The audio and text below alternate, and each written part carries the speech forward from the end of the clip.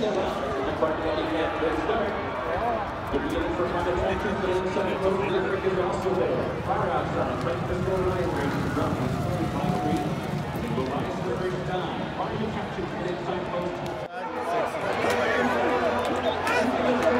he's coming through. He's coming between them.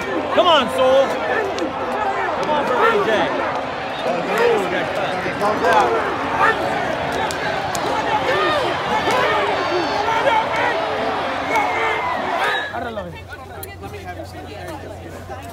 Into the Triple Needle Creek is a five in the Candy Ride. The lady get done for buying right on song. Steve Landers Racing, trained by Brad Thomas, with one all Subaru. The Olympic race is done by Peter Von Thoroughbreds. The time for the race is 148.59 seconds. What's this mean? Oh, that's Win the huge. Yeah, it's huge. I mean, it's um, the premier race, I guess, here in the, or it is the premier race here in the fall, and, and to, to, to win it would just, you know, this horse means a lot to us. We've had him for a long time, uh, going on, I guess, two years, and he's just been a horse that's, um, you know, he, he's obviously had some setbacks. You can see that in the racing for him, but he's he's um, he just come back better than ever this this year, and uh, he's um, he's he's a solid horse. He lets you know when he's ready to run, and he was he, let us know. Been telling us the last few weeks he was ready to go again, and he didn't let us down. Bravazo was digging in. What were you thinking down the lane?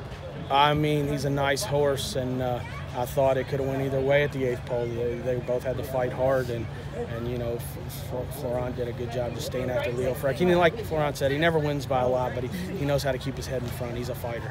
What are some of the tells that this horse gives you that kind of shows that kind of that indicates you that he is kind of ready for a Just the big way he acts, the way he struts him, struts around. When he walked in the paddock today, you could just, I mean, he was he was a handful to hold on to. Not and and not not you know overly aggressive at all. Just uh, just you know he's just on his game. You can see it. I mean, just walking in the paddock today, like I said, he was he was on the muscle. You know, I guess would be the best term to describe it. Uh, but you know, his mind's right. He, he's ready to go. His mind's right. He's he's just he was just really training well, and, and uh, he, he, he showed up. He ran a huge race. Uh, did you know he had the potential for a grade one? Well, over the last few months, yes.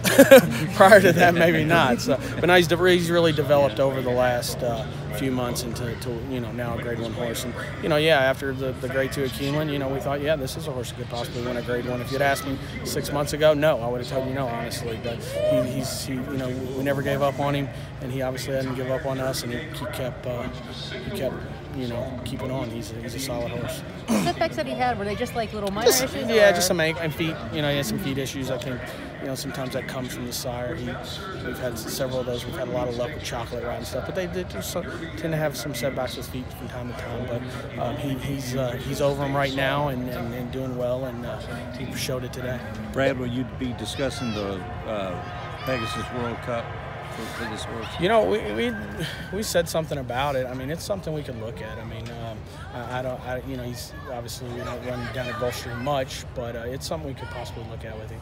So. Put in perspective the whole year. You start out, you hadn't won a grade one race. Yeah. You've been placed in grade one. Then you got your what? Your first, second, third, fourth, fifth, or so with the big mare, Yeah. and then now winning a grade one with another. Yeah, race. it's it's kind of crazy. We're just Liz Crow. I mean, actually, we had Long on Value won a Grade One in Canada, and all these horses were purchased in public auction for you know right around a hundred thousand bucks, and um, and Florence rode all of them. So it's, it's been a great year. I think it's seven total. Uh, grade ones and with three different horses and all similar you know obviously different styles one's a three-year-old filly one's a was a seven-year-old gelded a colt and now we have this five-year-old colt but uh, it's uh, it's it's been a great year